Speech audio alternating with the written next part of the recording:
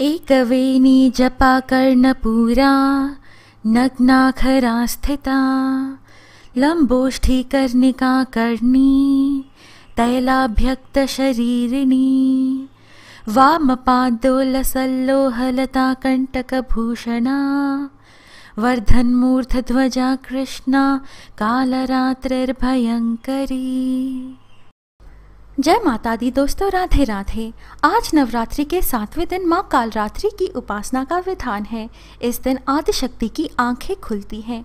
शास्त्रों के अनुसार बुरी शक्तियों से पृथ्वी को बचाने और पाप को फैलने से रोकने के लिए माँ ने अपने तेज से इस रूप को उत्पन्न किया था। इनका नाम शुभांकरी भी है। इनके शरीर का रंग घने अंधकार की तरह एकदम काला है। सिर के बाल बिखरे हुए हैं। गले में कड़कती बिजली की माला है। इनके तीन नेत्र हैं। इनसे विद्युत के समान चमकीली किरणें निस्तृत होती रहती हैं। माँ के श्वास प्रश्वास से अग्नि की भयंकर ज्वालाएँ निकलती रहती हैं। ये ऊपर उठे हुए दाहिने हाथ की वरद मुद्रा से सभी को वर प्रदान करती हैं। दाहिनी तरफ़ का नीचे वाला हाथ अभय मुद्रा में है। बाएँ तरफ़ के ऊपर वाले हाथ में लोहे का कांटा तथा नीचे वाले हाथ में खड्ग है। इनका वाहन गर्दभ यानी गधा है। इस दिन साधक का मन सहस्त्रार चक्र में स्थित रहता है। कथा के अनुसार पूर्व काल में शुंभ निशुंभ नामक असुरों ने अपने बल के मत से इंद्र का त्रिलोकी का राज्य छीनकर स्वयं ही उनका उपयोग करने लगे। इस तरह से दैत्यों द्वारा निकाले हुए देवता अपराजिता देवी का स्मरण करने लगे। इस प्रकार जब देवता स्तुति कर रहे थे तो उसी समय पार्वती देवी गंगा में स्नान करने के लिए आई। तब उनके शरीर से प्रकट होकर शिवा देवी बोली शुंभ दैत्य के द्वारा स्वर्ग से निकले हुए और निशुंभ से हारे हुए यह देवता मेरी स्तुति कर रहे हैं। पार्वती के शरीर से अंबिका निकली थी, इसलिए उनको संपूर्ण लोक में कौशिकी कहते हैं। कौशिकी के प्रकट होने के पश्चात पार्वती देवी के शरीर का रंग काला हो गया और वह हिमालय पर रहने वाली कालिका देवी के नाम से प्रसिद्ध हुई। फिर शुंभ और निशुंभ के दूत चंड मुंड वहाँ आए और उन्होंने परम मनोहर रूप वाली अंबिका देवी को देखा। फिर वह शुंभ के पास जाकर बोले, महाराज, एक अत्यंत सुंदर स्त्री हिमालय को प्रकाशित कर रही है। वैसा रंग रूप आज तक हमने किसी स्त्री में नहीं देखा। हे असुरेश्वर, आप उसको ग्रहण कर ले। वह स्त्री स्त्रियों में रत्न है। वह अपनी कांति से दसों दिशाओं को प्रकाशित करती हुई वहाँ स्थित है। इसलिए आपका उसको देखना उचित है। चंडमुंड का यह वचन सुनकर शुंभ ने विचारा कि सुग्रीव को अपना दूत बनाकर देवी के पास भेजा जाए। प्रथम उसको सब कुछ समझा दिया और कहा कि, वहाँ जाकर तुम उसको अच्छी तरह से समझाना और ऐसा उपाय करना जिससे वह प्रसन्न होकर तुरंत मेरे पास चली आए। भली प्रकार समझा कर कहना। दूत सुग्रीव पर्वत के उस रमणीय भाग में पहुँचा जहाँ देवी रहती थी। दूत ने कहा, हे देवी, दैत्यों का राजा शुंभ, जो इस समय तीनों लोगों का स्वामी है, मैं उसका दूत हूँ और यहाँ तुम्हारे पास आया हूँ। अब जो कुछ उसने कहला भेजा है, वह सुनो। मैं तुम्हें संसार की स्त्रियों में रत्न मानता हूँ, क्योंकि रत्नों का उपभोग करने वाला मैं ही हूँ। अब यह मैं तुझ पर छोड़ता हूँ कि तू मेरे या मेरे भाई निशुंभ की सेवा में आ जाए। भगवती दुर्गा मन ही मन मुस्कुराई और इस प्रकार कहने लगी, हे दूत, शुंभ इस समय तीनों लोगों का स्वामी है और निशुंभ भी उसी की तरह पराक्रमी है। किंतु इसके संबंध में मैं जो प्रतिज्ञा कर चुकी हूँ, उसे मैं कैसे झुटला सकती हूँ? जो मुझे युद्ध में जीत लेगा और मेरे अभिमान को खंडित करेगा तथा बल में मेरे समान होगा, वही मेरा स्वामी होगा। इसलिए शुंभ अथवा निशुंभ, यहाँ आवे और युद्ध में जीतकर मुझसे विवाह कर ले। देवी की बात सुनकर वह दूत वहाँ से असुरेंद्र के पास पहुँचा और सारा वृतांत उसे कह सुनाया।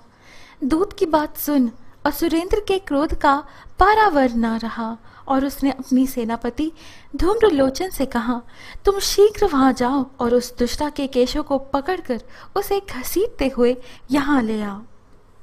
शुंभ के इस प्रकार आज्ञा देने पर धूम्रलोचन साठ हज़ार राक्षसों की सेना के साथ लेकर वहाँ पहुँचा और देवी की ओर लपका। किंतु देवी ने उसे अपनी हुंकार से ही भस्म कर डाला।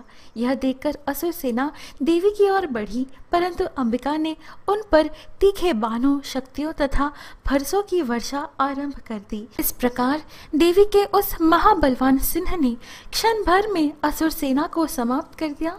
शुंभ ने जब यह सुना कि देवी ने धूम्रलोचन असुर को मार डाला है और उसके सिंह ने सारी सेना का संहार कर डाला है।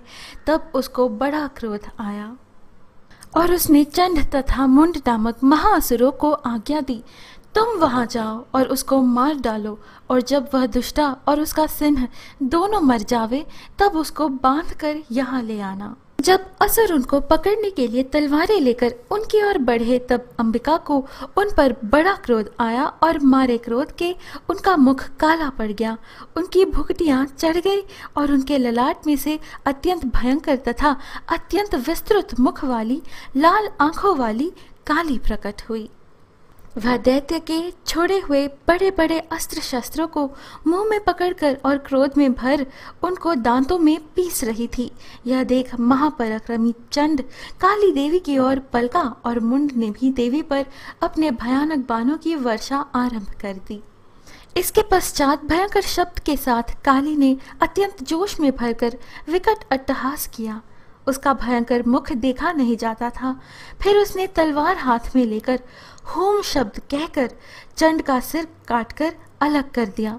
चंड को मरा हुआ देखकर मुंड देवी की ओर लपका, परंतु देवी ने उसे भी अपनी तलवार से यमलोक पहुँचा दिया। चंड और मुंड को मरा हुआ देखकर उसकी बाकी बची हुई सेना वहाँ से भाग गई। इसके पश्चात काली चंड और मुंड के कटे हुए सिरों को लेकर चंडिका के पास गई और प्रचंड अट्टहास के साथ कहने लगी हे देवी, चंड और मुंड दो महादैत्यों को मारकर तुम्हें भेंट कर दिया है। अब शुंभ और निशुंभ का तुमको स्वयं वध करना है।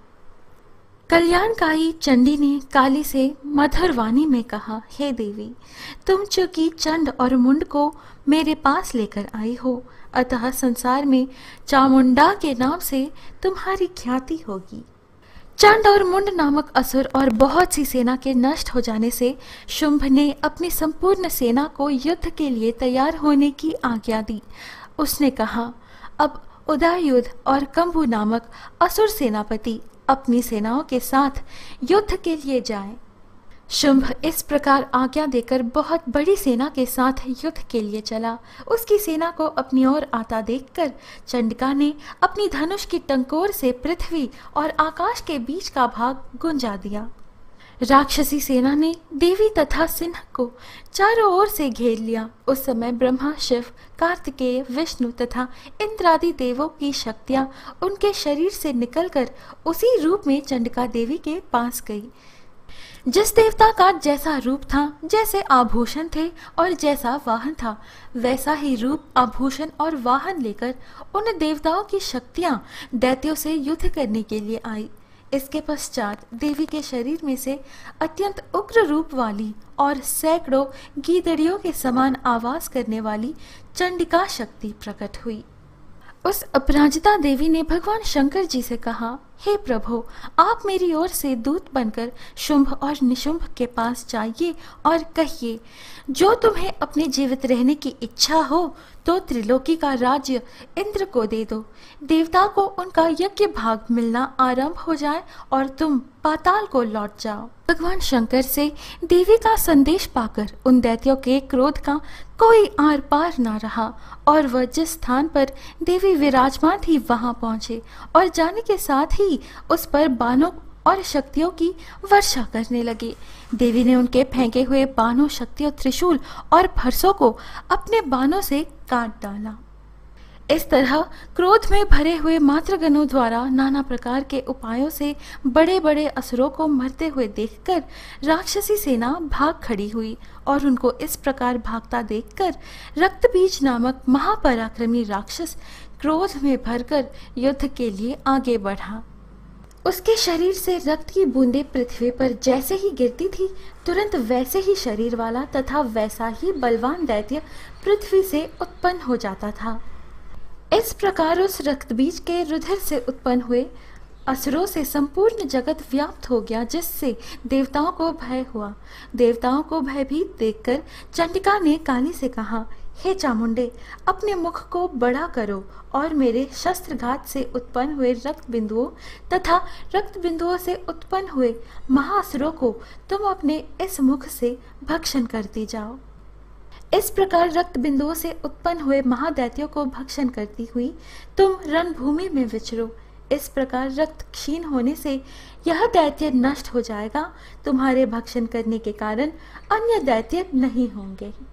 काली से इस प्रकार कहकर चंडिका देवी ने रक्त बीज पर अपने त्रिशूल से प्रहार किया और काली देवी ने अपने मुख में उसका रक्त ले लिया। अनेक प्रकार के शस्त्रों से मारा हुआ और खून से वंचित वह महादैत्य रक्त बीज पृथ्वी पर गिर पड़ा। माँ काली निरंतर संहार करती हुई विनाश लीला रच रही थी। इनके भयंकर स्वरूप और उत्पाद से सृष्टि में हाहाकार मच गया था। ऐसे में माँ काली को प्रत्यक्ष रूप में रोकने की शक्ति किसी में भी नहीं थी। तभी शिव जी उनकी राह में लेट गए थे, ताकि चराचर ब्रह्मांड के स्वामी और अपने पति परमेश्वर को अपने पाँव के नीचे पाकर देवी शांत हो और अपने मूल रूप में वापस आए। भक्तों, यह है माँ काली की कथा, जो दुर्गा सप्तशती में वर्णित है। अब वीडियो के अंतिम भाग में सुने माँ कालरात्रि की आरती।